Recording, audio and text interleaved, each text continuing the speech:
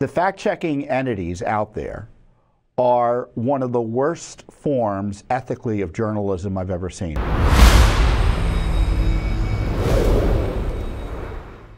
In 2020, you may recall, social media began suppressing concerns about how the 2020 election was to be conducted. And how do I know that happened? Because it happened to me. It happened to Judicial Watch. We were censored repeatedly about um, election controversies. And Judicial Watch is a national expert on elections. So we know what we're talking about. And uh, you would think, given the controversy around that censorship since then, uh, how, uh, in the case of, for instance, the Hunter laptop, uh, they, uh, the Twitter and the big media suppressed that story, censored it, uh, that they would be more careful this time around. Nope, it's begun again. And Judicial Watch is the victim and the target. Now, you may recall the last time I was here with you, I think it was the last time I was here with you, I talked about how we uncovered through the Local Freedom of Information Act here in the District of Columbia a list of non citizen voters who voted in quote the 2024 presidential primary, the DC primary. Now, how did we get that information? It was on an Excel spreadsheet. So we said, give us the list of voters. They gave us the list of voters. We told them, give us the list of voters who voted in the DC presidential primary. They gave us that list, and they were all non citizens. So it was 113 names. So the other day, I got uh, an email uh, from uh, one of the fact checking organizations that contract with Facebook, Lead Stories, uh, saying, well, that's that, you know, to give us evidence they voted in the presidential primary. And I said, well, the evidence is the document. And their feedback or pushback was, well, the DC Board of Elections say they didn't vote for, quote, the president part of the presidential primary. I'm like, well, that's not what the documents say. And so, I, I, you know, all we can do is report accurately in a fair way what the documents say. Now, of course, if they actually voted in the presidential primary, as these documents seem to suggest, that could be a crime. And again, Lead Stories is arguing with us about what the document says. There's no argument what the document says. They're just saying we have to believe the spokesman who has no information, no documents that we're aware of, showing what actually, what ballots these people actually use. The suggestion is these individuals were given only local ballots uh, because in D.C. they can, uh, illegal aliens or aliens and non citizens can vote in the local elections, which is outrageous as it is. And they're saying, well, just because they say they voted in the 2024 presidential primary doesn't mean they voted in the presidential primary. Of course, well, what does that have to do with whether the document is fair and accurate? Our press release about it. And so we posted this material up on Facebook, and this is what Facebook started doing to it based on the intervention of this third party fact checker, which, in my experience, is a leftist, juvenile, uh, unprofessional uh, organization that basically targets conservatives in an unfair way. And here's what they said. So this is what we're getting as a notice.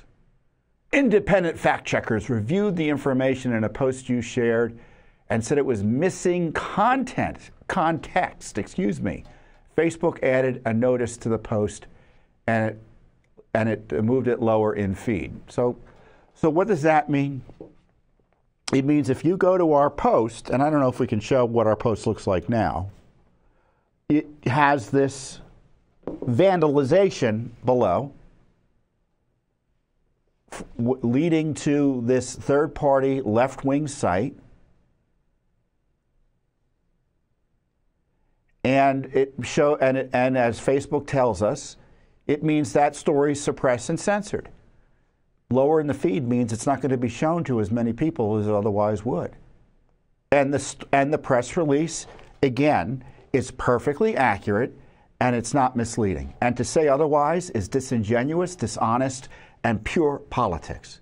And here you have a case of a left wing fact checking organization and Facebook using as an excuse to censor information that is unhelpful to left wing narratives because they don't want anyone to think that non citizens are voting in any elections, let alone a presidential primary election.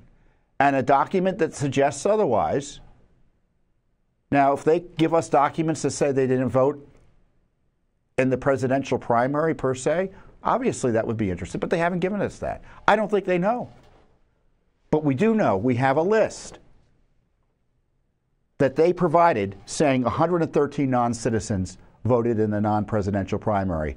And the evidence to the contrary is a spokesman for the government. It's absurd. The documents speak for themselves. And so now they're suppressing information about non citizens voting in our elections.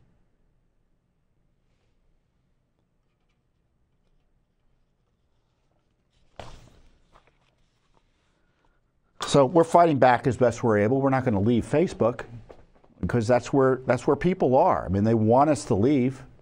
I mean, I'm convinced of that. The left, you know, in the end, they'd be happy to see us leave. We're not going to leave. We're not going to be pushed around. But we are going to expose this misconduct. And let me just say something about these fact checkers.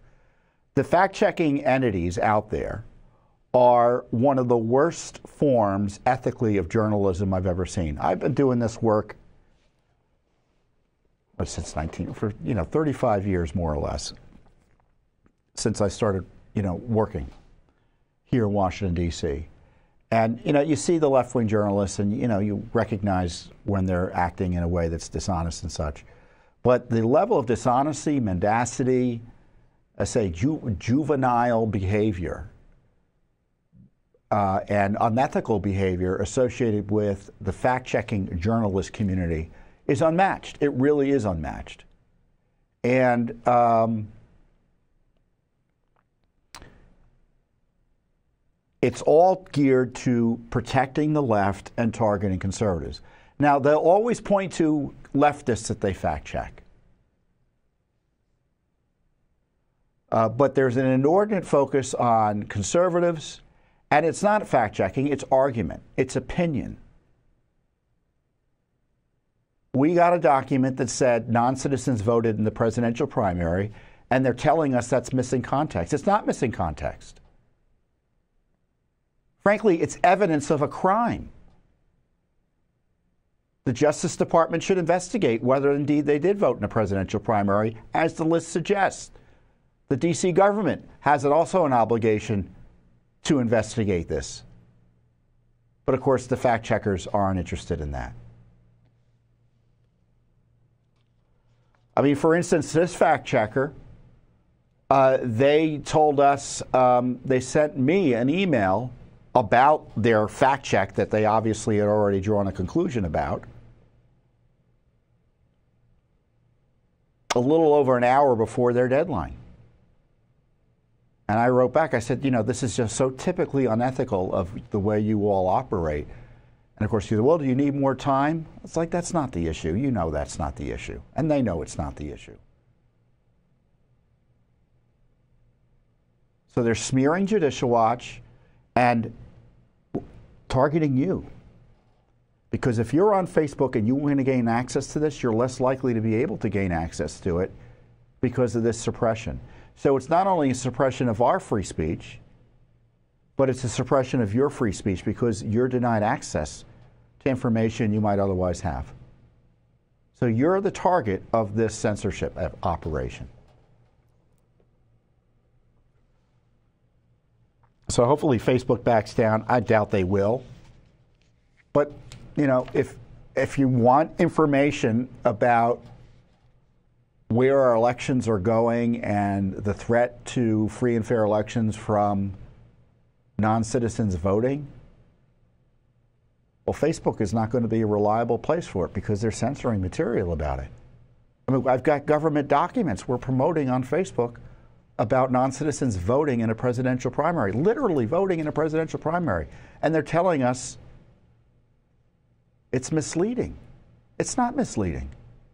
There's no, the only document we have says that these folks voted in presidential primaries. Did they only get ballots that were for non presidential offices? No documents of such has been presented to us, nor did lead stories, the so-called face check, Facebook fact checker, promote any or give them, a, uh, you know, uh, report on any of them. So there you have it. So be warned as we come up on the election,